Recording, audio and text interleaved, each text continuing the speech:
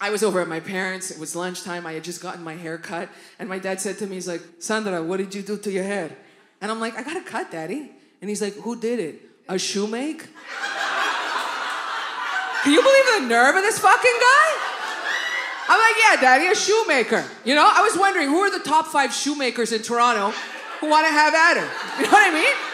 How do you build confidence with an Italian father? Impossible, you know? My whole life, my dad's been like, I came into this country, I sacrificed everything for you, guy. I feel like a shit, you're gonna feel like a shit too.